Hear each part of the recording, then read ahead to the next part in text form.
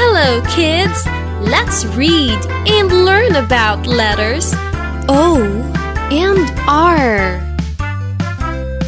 There were two letters walking about, and they made their own sounds. Then one day they had a big bump. Or was their new sound? Or was their new sound? Now their sound can make new words like fort and sport and shore and store, corn and horn and thorn and snore. Or is their new sound? There were two letters walking about, and they made their own sounds. Then one day they had a big bump. Or was their new sound? Or was their new sound?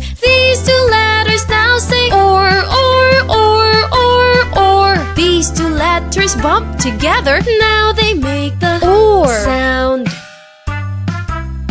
There were two letters walking about, and they made their own sounds. Then one day they had a big bump. Or was their new sound? Or was their new sound? Now their sound can make new words like fort and sport and shore and store, corn and horn and thorn and snore. Or is their new sound?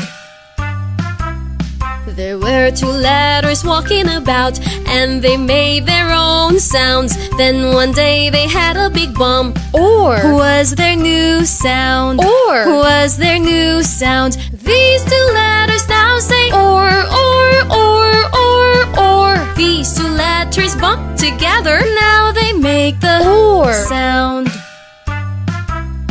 There were two letters walking about, and they made their own sounds. Then one day they had a big bump. Or was their new sound? Or was their new sound? These two letters now say or, or, or, or, or. These two letters bump together, now